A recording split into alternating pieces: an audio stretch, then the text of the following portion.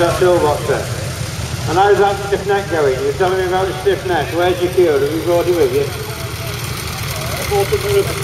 He brought a medal for his stiff neck. right then, sir, tell me a bit about your tractor. I acquired this tractor 10 years ago. It was supplied by...